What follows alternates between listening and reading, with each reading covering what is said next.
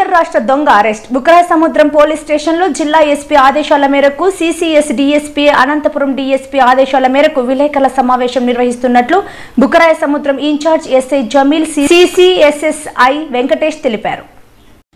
ధర్మవరం చెందిన వీర నారప్ప బైక్ పోయిందని ఫిర్యాదు ఇవ్వడంతో బుక్కరాయ సముద్రం పోలీస్ స్టేషన్లో కేసు నమోదు చేసి ఈరోజు ఉదయం ఎనిమిది గంటల సమయంలో రాబడిన సమాచారం మేరకు Bukkaraya Samudram in charge SI Jamal Basha CCS SI Nagaraju మరియు వెంకటేష్ బృందంతో కలిసి బుక్కరాయ సముద్రం మండల పరిధిలోని గోశాల వద్ద బైకుల్ని ఇతరులకు అమ్ము చూపుతున్న సమయంలో నిందితుడిని పట్టుకున్నట్లు తెలిపారు. ఇరవై తొమ్మిది బైకులు దొంగతనం చేసి దొరికిన దూదేకుల బాబు ముప్పై ఎనిమిది సంవత్సరాలు అరెస్ట్ చేసి మీడియా ముందు హాజరుపరిచారు. నిందితుడిని పోలీసులు విచారించగా తనకున్న చెడు వ్యసనాల వలన మోటార్ సైకిళ్ళు దొంగతనాలు చేసి వాటిని ఎక్కడైనా అమ్మి డబ్బులు సంపాదించాలని నిర్ణయించుకొని మొత్తం ఇరవై తొమ్మిది మోటార్ సైకిళ్ళు దొంగతనం చేశానని నిందితుడు అంగీకరించినట్లు ఇన్ఛార్జ్ ఎస్ఐ జమాల్ బాషా తెలిపారు.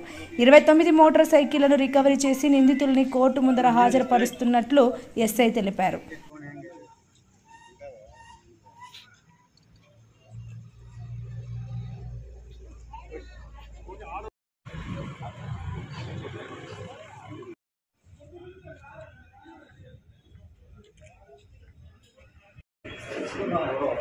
అనంతపురం జిల్లా ఎస్పీ గారి ఆధ్వర్యంలో సిసిఎస్ డిఎస్పీ గారు మరియు అనంతపురం పట్టణ డిఎస్పీ గారు సింగనమల సిఐ గారు బుక్కరాజ సముద్రం పోలీసు వారు అందరికీ వచ్చినటువంటి సమాచారం మేరకు కర్ణాటక రాష్ట్రం పావగడ తాలూకా గాదిగుంట గ్రామానికి చెందినటువంటి దూదేకుల బాబు అలియాస్ బాబు అనే వ్యక్తి బైక్ దొంగతనాలకు పాల్పడుతున్నాడని చెప్పేసి సమా సమాచారం వస్తే సిసిఎస్ డిఎస్పీ గారికి దానిపైన టీం అంతా సంయుక్తంగా వర్క్ చేస్తే అతని వద్ద ఈరోజు ఆ, బుక్రాయ సముద్రం కట్టపైన గోశాల వద్ద అతను దొంగలించినటువంటి వెహికల్స్ అన్ని ఒక చోట దాచిపెట్టి దాంట్లో ఒక వెహికల్ని తీసుకొని అమ్మడానికి తీసుకొని పోతున్నాడు బైక్.